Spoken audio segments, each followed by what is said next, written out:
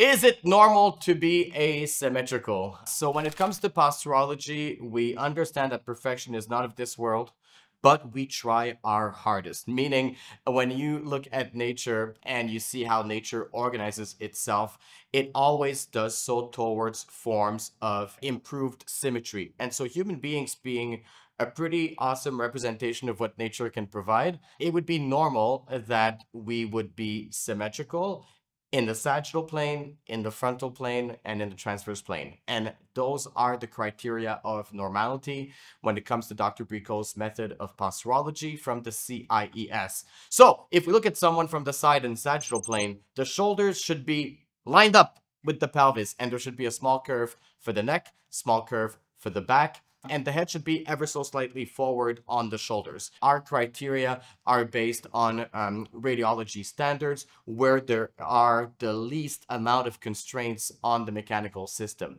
And when it comes to the frontal plane, it would be that the shoulders are aligned and so is the pelvis. Um, and obviously that's quite rare, but it's what we are able to achieve when we work in the context of posturology. And when we do so, we have a um, much better distribution of muscle tone right side versus left side.